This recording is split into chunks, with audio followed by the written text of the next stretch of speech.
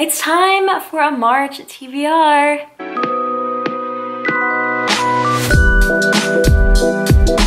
Hey guys, welcome back to my channel. Today I just hash out everything that I want to read in March. March feels like a weird month to me because I feel like there's a lot of stuff that I want to read coming out like the end of the month in April and I don't know, I feel like I have a lot of stuff that I want to catch up on. So I think I'm going to take this month to just kind of catch up on some series that I've been meaning to read and other things that I've been kind of putting on the back burner for now. So I feel like it's just gonna be like a lot of sequels and stuff like that before like a lot of my most anticipated releases come out end of March, early April. So it, it's just gonna be like a random mishmash of things that I wanted to get to, but I feel like I've set out these lists of things that I wanted to get to this year and I haven't gotten to all of them. So I'm just like, all right, I need to make sure that I am accomplishing these goals that I set forward to myself, even though reading is just a hobby. It's all arbitrary, it's for fun. If I don't meet these goals, like who cares? But I personally set out these lists for myself because I know that it's things that I'm going to enjoy. So let's do it. And I feel like when summer comes, like spring, summer, April, May time and like the weather is changing, it's just like nice. I feel like I'm gonna wanna shift to like more like lighthearted rom-com type books. I don't know, we'll see. I think like my reading, what I'm reading is gonna change like over the months. So we'll, we'll see. Let me just get into the books that I wanna read. So first up, this book is The Bridge Kingdom by Danielle L. Jensen. And this is on my February TBR and I'm filming this pretty much like the week before March. So I'm hoping that I can get to this one in February and then pick up the sequel. And like this will be my last book in February and then the sequel will be my first book in March. So that's what I mean, kind of like wrapping up some loose ends around here. And this just sounds like the perfect fantasy romance. And I'm just like in love with this edition with, uh, let me show you. The chapter headers are the coolest things I've ever seen. So I'm gonna pick this up. I feel like I'm probably, I should just purchase the sequel hardcover like now because I just know I'm gonna love it. So there we go. The Bridge Kingdom is about Lara, who is a princess whose kingdom has kind of been like oppressed by this Bridge Kingdom who controls this bridge that controls all of the trade routes. She's been trained since she was a child to be a spy and she is arranged to marry the king of this bridge kingdom and she goes in to try and gather inside information and to potentially take out the king himself. However, once she gets to the bridge kingdom, she sees that the things she's been told her whole life may not be what they actually are like and she has to decide for herself what is more important. And as her mission draws her deeper into what it means to control the bridge, she finds that her simmering attraction to her new husband may just be impossible to deny. So it's just like a marriage of convenience, enemies to lovers, forced proximity, a lot of tropes that I love squished into one. And I love this cover, but I also love the digital cover as well. Super pretty. So yeah, hopefully this is gonna be the last book that I get to in February because I'm actually doing really well my February TBR. I have three more books to finish and I just feel like I wanna dedicate myself to reading this weekend. So who knows, maybe there will be a vlog documenting said reading. So yes, Bridge Kingdom. And then the sequel is The Traitor Queen. This is the digital cover. And then this is the cover, like the print cover. So I want to start off with this fantasy romance series and then move on to another one because you guys know I'm a huge sucker for fantasy romance. I've just been loving the genre so much. So the next book that I plan to read in March will be Deadly Dreams by KJ Sutton, which is the third book in the Fortuna Sworn series, which I absolutely adore. If you see here, Fortuna Sworn and Restless Slumber, these covers are just everything. And this book is like the thickest one yet. So I can't wait. And you know if like a fantasy romance is good if I buy it because usually I've been reading them on Kindle Unlimited. Um, but when I when I purchase the actual book, that's when you know it, it means a lot to me. Uh, this book is just super cool because Fortuna is a badass. She's such a badass and I love her. I'll hold up, I'll hold up this cover. And I think this is going to be, I don't know how many books are gonna be in the series. I think at least six. We will be tortured for a long time and I will love every second of it. And the second book ended on such a huge cliffhanger and I'm really interested to see where this one's gonna go because things like were literally crazy at the end. Fortuna Sworn is a nightmare and she is the last of her kind ever since her brother went missing two years ago. Being a nightmare means that she can manipulate anyone's fears and give them visions of what they fear the most. Okay, give them nightmares. She has been blending in with the human world, trying to work by day and search for her brother at night. After she is captured by some goblins and brought to a black market and this powerful fairy frees her, he approaches Fortuna and wants to make a deal with her. He makes no attempt to hide that he desires Fortuna and he offers something irresistible and so Fortuna leaves her comfortable existence in the human realm behind to step back into a world of creatures and power and it just has the romantic tension is just amazing and I really love the court politics and intrigue as well and it's just one of those books where nothing is what it seems initially with characters and so it's just been such a journey to love and to read and I won't I won't stop talking about my love for this series you know? I won't stop this next book is an arc that I was sent by the publisher, so thank you to William Morrow Books for sending this my way, and it's Second First Impressions by Sally Thorne. I read The Hating Game by Sally Thorne, and it was like the first rom-com that I ever read, and I just loved it so much. Just like superior office enemies to lovers. amazing. And so this one seems really, really cute. Look at the little turtles on the cover. And I also need to read 99% Mine by her.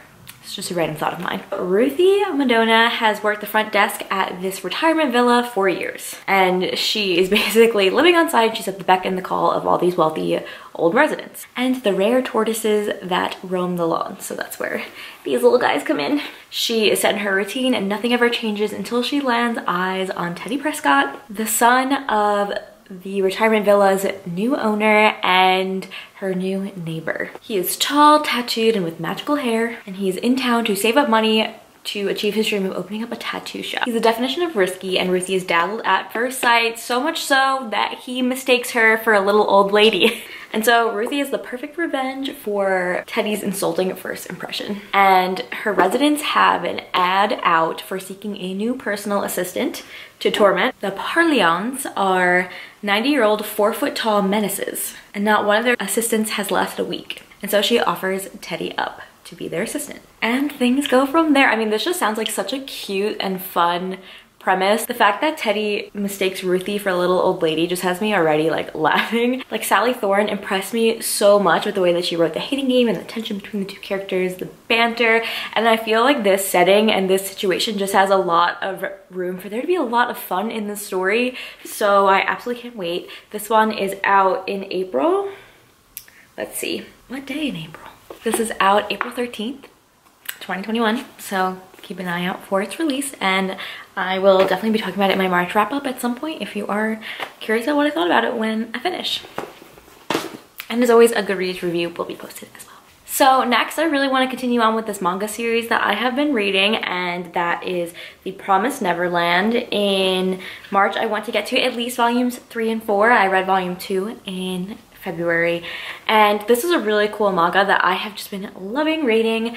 This is about this orphan home where all these children are living and every day they get tested on their mental abilities and they have playtime and they have this caretaker called mom who has always been nice and they have depended on her for everything in their life until one day they find out the truth of what is really happening in the outside world and what happens to the children when they get adopted and what the purpose of these mental aptitude tests are every single day.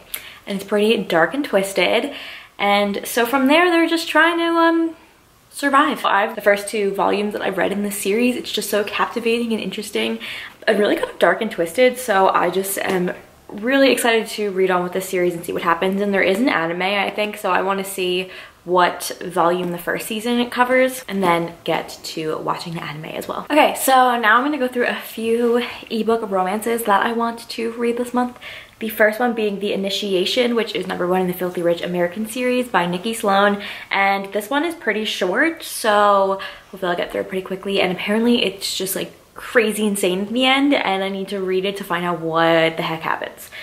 That is what I have been told by multiple people. No one knows how new members are selected to the board of the Hale Banking and Holding Corporation. But there are rumors of a sordid ritual of initiation and whispers of how one woman and nine men disappear into a boardroom. The Hale family owns everything and now Royce Hale wants to own the love interest. He is charming, seductive, ruthless, but overall he is the prince of lies. And our love interest will make a deal with the devil to save her family and sell herself to the Hales, but Royce will never own her heart. I've just heard that this book is insane and so I want to read it and see what everyone is talking about. Then the next romance books that I want to get to are at least number three and four in the Wicked Villain series by Katee Robert. I would potentially maybe get to more in the series, but I'll just cover three and four in this TBR video because I feel like that's like a reasonable goal for this month. So number three is A Worthy Opponent. And if you don't know what the Wicked Villains series is about, it is a romance series where we have retellings of like the heroine paired with the Disney villain. And so this third one that I want to get to, A Worthy Opponent, is Tinkerbell and Captain Hook. Once upon a time, Tinker, Tink, aka Tinkerbell, was a girl who believed in loved and happy, happily ever afters, however, not now all she believes in is revenge. And unfortunately for her, there's only one man willing to help her achieve that revenge, and that is Hook. And Tink is willing to pay any price to bring Pan down, even if that means selling her soul to Hook. So it just sounds like romance goodness. It's a really, really fun series. If you like romance, definitely check these ones out because it's a great time. Then the fourth book in the series is The Beast, which is a retelling of none other than Beauty and the Beast. So once upon a time, Belle fell in love with two men and their feelings for Belle were matched only by their hatred for each other. In the end, Belle couldn't choose and she lost them both. Now, Belle is tasked with setting power limits for her family in this city that is divided up by different gangs, which means that she must sit down with Gaston and Beast in order to divide up their territories, but only for as long as it takes her to choose one or the other. Hmm, a little fun there, huh? I do kind of wish I could get to the other four in the series and I, maybe I'll just put all four of them on the TBR this month because like, why not do that? Okay, so let's talk about the next two. I mean, all these books are under 300 pages or around 300 pages, so they don't take super long to read. Okay, let's let's talk about the, the next ones in the series. Number five is The Sea Witch. So once upon a time, Ariel met a man and fell in love with him. In Ariel's desperation to reunite with Alaric, her love, she turns to the Sea Witch. Ursa is as beautiful as she is dangerous, and the one person Ariel's father warned her to never get close to. In auction to sell herself is the only thing of value that Ariel has, and the money will free Alaric and they can finally be together. Except nothing is simple as all, Ursa is playing games and Alaric just might turn out to be just as much of a villain. I mean, it sounds like a good time. and then let's see, the last one in the series, I think it's only gonna be six total. And then there's also bonus short story collection, I believe. So let's see, the last one is Queen Takes Rose, and this is between Aurora and Malone. Malone is one of the most feared leaders in Carver City, and her reputation is more than earned. And she has scheduled Aurora for her final two nights of her contract in a BDSM club, which by the way, all these stories kind of like revolve around this BDSM club. Maybe Aurora should be afraid, but all she feels is anticipation. So yeah, Katee Roberts just does smut so well. So I need to read these. Okay, and then the last two books I want to talk about are two books that I have e-arcs of and I really want to read, get to these because they just sound like great new releases. The first one being A Dark and Hollow Star by Ashley Shuttleworth.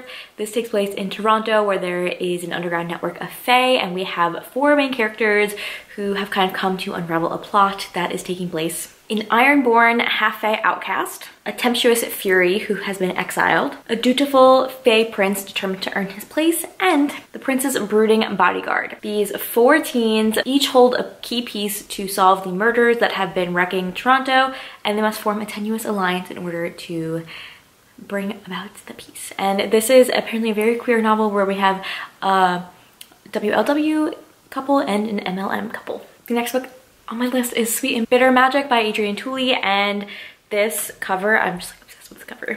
It's a debut fantasy perfect for fans of Sorcery of, Thor Thor Sorcery of Thorns and Girls Paper and Fire. Two books that I adore. Tamsin is the most powerful witch of her generation. However, she has been cursed to never love and the only way that she can experience love is by stealing it from others. Ren is a source, a rare kind of person who is made of magic despite being unable to use it herself and she has been spending her life caring for her ailing father hiding in secret. When a plague ravages the land, Ren's father falls victim and so she strikes a bargain with Tamsin. If Tamsin will help her find the dark witch responsible for creating the plague, then Ren will give Tamsin her love for her father. And uh, things progress from there. They head out on a journey and who knows what will happen. Okay, and then I wanted to throw one more fantasy romance book on there because apparently I have huge ambitions for this month. So I created a poll on my Instagram of two fantasy romances that I was considering picking up this month. So let's see how the poll is going.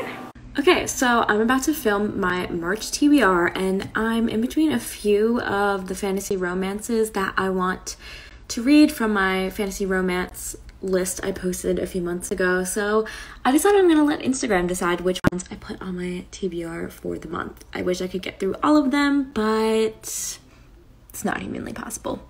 And it looks like Rhapsodic has won the poll at the point where I am looking at it. So I put up Rhapsodic and Radiance. So in Rhapsodic, it's called the Bargainer series. Calypso is a siren with a very serious problem. For the last seven years, she wears a band of black beads that twirl up her arm and represent bargains that she has made and each bead represents a favor that can be called in. The bargainer has never asked for repayment until now and when he shows up in the middle of the night in Catelyn's room, things are about to change. For him, it's not just the prospect of rekindling an old romance. There is something that is changing in the other world. There are fae that are going missing and only the women are returned in a glass casket with a child clutched to their breast. And so things are pretty bad and he'll need the help of a siren that he spurned long ago to help him discover what exactly is happening in his kingdom and how to save everyone. And I think this is a trilogy. I've heard it's a dark fantasy romance that people just love and I want to read it because I'm all about that fantasy romance. Okay, so that is my very eclectic TBR for March. Kind of just trying to read a bunch of things that I have on my mind. No really rhyme or reason to it, but that is kind of just what I'm feeling like right now. So let me know what you are reading down below in March. Um, let me know if you've read any of these books, what you think about them. Like just leave a little comment, leave a little heart.